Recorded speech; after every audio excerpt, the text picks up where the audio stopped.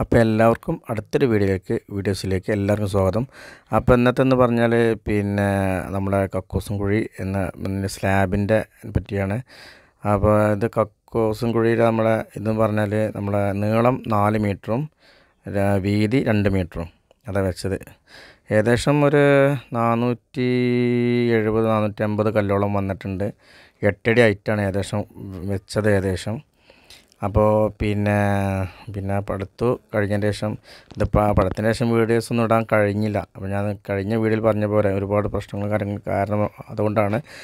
അപ്പോൾ ഏകദേശം ഒരു ഇത് സ്ലാബ് വാർക്കാൻ ഏകദേശം ഒരു അഞ്ച് ചാക്ക് സിമെന്റാണ് ഏകദേശം ഉപയോഗിച്ചിട്ടുണ്ട്. അഞ്ചഞ്ചര ചാക്ക് സിമെന്റ് ഇത് പിന്നെ വാർക്കാൻ ഉപയോഗിച്ചിട്ടുണ്ട്.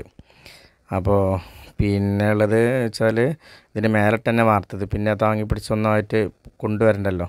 പിന്നെ മേലെ നിന്ന് എടുത്തിട്ട് രണ്ട് സൈഡ്. രണ്ട് സൈഡ് ഏകദേശം നമ്മൾ പിന്നെ ഗ്യാപ്പ് ഇട്ട് അപ്പുറത്തും ഇപ്പുറത്തും രണ്ട് ഗ്യാപ്പ് ഇട്ടത്.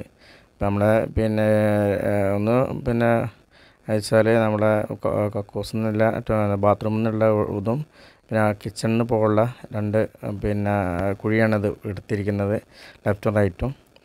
പിന്നെ വെച്ചാൽ നമ്മുടെ കിണറിന്റെ ഏകദേശം ഒമ്പത് മീറ്റർ ഒമ്പതര മീറ്റർ ഡിഫറൻസിലാണ് ഇത് ഏകദേശം നമ്മൾ വെച്ചിരിക്കുന്നത് ഏകദേശം.